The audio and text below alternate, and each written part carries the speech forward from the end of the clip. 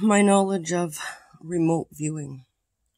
As I sit here working on a variety pack, we'll say, but we got one variety pack is to do with the reptilians and the military and how they like to fuck around, right?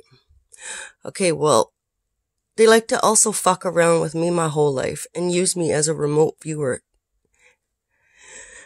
Um, without my knowledge, of course, because, I mean, it was my soul spirit that, uh, they erased and put back here and whatever. Okay.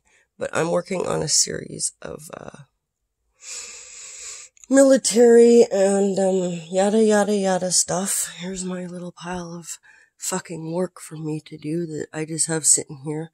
And I got about 200 other fucking piles like this that I like to call classified documents.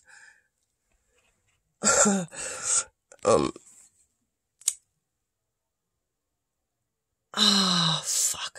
Oh, so, uh, what the fuck am I trying to talk about? Remote viewing, yada, yada, yada.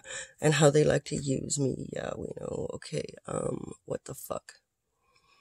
It's like, um, keywords, things like affirmative, uh, or you see colors and this and that, or connecting the dots with shit, right? That's to do with, um, color pattern, like, and, and making you paranoid of those colors because they put them in your lives over and over and over and over and over. We know all that with the military people. Um, however, they like to continue to jack and jack.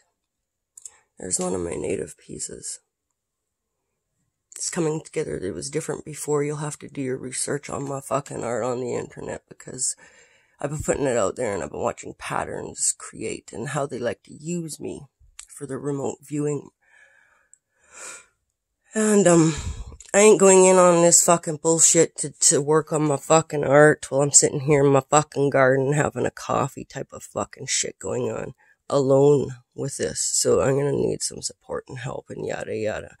And I have my battle of people chosen for me. And you know who you are. At this point, I'm just gonna leave it there and upload.